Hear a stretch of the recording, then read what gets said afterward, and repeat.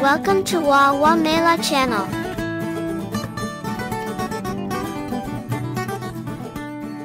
Aiman's school bag. Aiman is a young girl.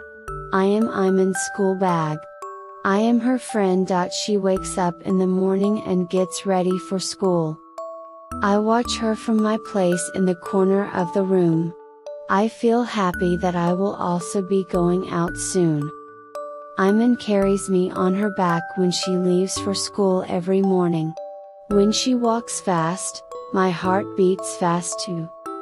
I ride on her back till we are out on the street. In the school bus, I sit comfortably on her lap. Aiman just loves me. I meet many other bags.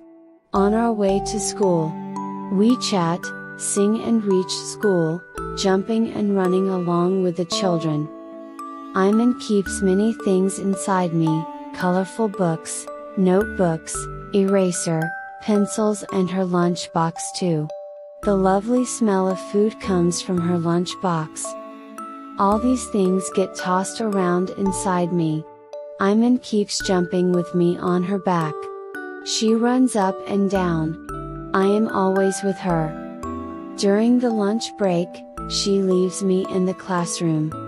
I feel lonely, but then, there are many other bags in the room. We all chat, laugh and sing, but I miss Aiman. When school is over, do you know what Aiman does? Oof!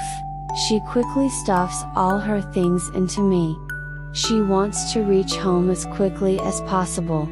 I start panting because she runs very fast towards the bus. She puts me in a corner after reaching home, and forgets all about me. I watch her from a distance. But I know that tomorrow, we will be going to school all over again.